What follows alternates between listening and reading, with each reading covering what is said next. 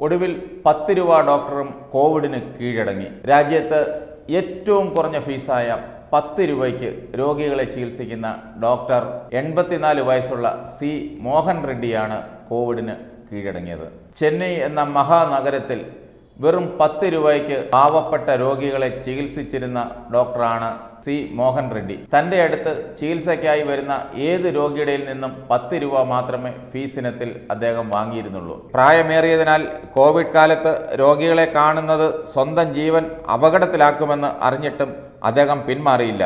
ഈ ലോക്ക്ഡൗൺ കാലത്ത് പോലും മോഹൻ റെഡ്ഡി ചികിത്സ നടത്തിയിരുന്നു. ജൂൺ ഇരുപത്തഞ്ചിനായിരുന്നു ആദ്യമായി അദ്ദേഹത്തിന് കോവിഡ് പോസിറ്റീവായത്. സ്ഥലത്തെ ഒരു സ്വകാര്യ ആശുപത്രിയിൽ പ്രവേശിപ്പിച്ച അദ്ദേഹത്തിന് ഉടൻ തന്നെ ആരോഗ്യം വീണ്ടെടുക്കുകയും ആശുപത്രിയിൽ നിന്നും ഡിസ്ചാർജ് ആവുകയും ചെയ്തു. വീണ്ടും അദ്ദേഹം തന്റെ സ്വന്തം ക്ലിനിക്കിൽ ചികിത്സ തുടങ്ങി. കഴിഞ്ഞ ദിവസം രാവിലെ പെട്ടെന്ന് കുഴഞ്ഞു വീണ് മരണത്തിന് കീഴടങ്ങിയായിരുന്നു. ചെന്നൈയിൽ പാവപ്പെട്ട രോഗികളെ ചികിത്സിച്ചിരുന്ന ഇദ്ദേഹം തീർത്തും നിർധനരായ രോഗികൾക്ക് സൗജന്യമായും ചികിത്സ നടത്തി വന്നിരുന്നു. വില്ലിവാക്കത്തെ പണമില്ലാത്തവരും സാധാരണക്കാരും ചേരി നിവാസികളുമെല്ലാം അദ്ദേഹത്തെ തേടി വരുമായിരുന്നു. പ്രദേശവാസികളെ ചികിത്സിക്കാനായി മുപ്പത് കിടക്കകളുള്ള ഒരാശുപത്രി അദ്ദേഹത്തിന് സ്വന്തമായുണ്ട്. ഈ ആശുപത്രി ഏതു സമയത്തും പ്രവർത്തിച്ചിരുന്നു.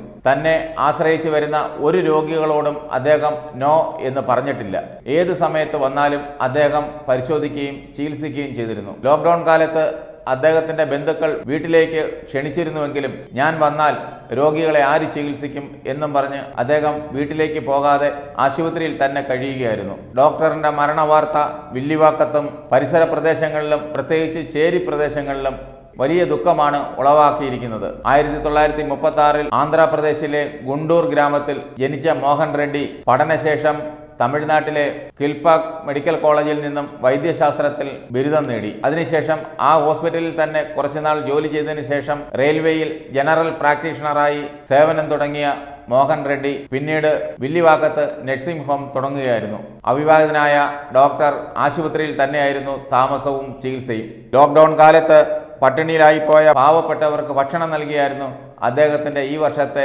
ജന്മദിനം ആഘോഷിച്ചത്. അദ്ദേഹത്തിന്റെ സേവനത്തെ പ്രശംസിച്ച തമിഴ്നാട് സർക്കാർ കഴിഞ്ഞ വർഷം അദ്ദേഹത്തെ ആദരിച്ചിരുന്നു. അതുപോലെ മൂന്ന് സ്വകാര്യ ആശുപത്രികൾ ചികിത്സ നിഷേധിച്ചതിനെ തുടർന്ന് ബംഗളൂരുവിൽ കോവിഡിനെതിരെയുള്ള പോരാട്ടത്തിൽ മുന്നിൽ നിന്ന ഡോക്ടർ മഞ്ജുനാഥും കഴിഞ്ഞ ദിവസം കോവിഡിന് കീഴടങ്ങിയിരുന്നു.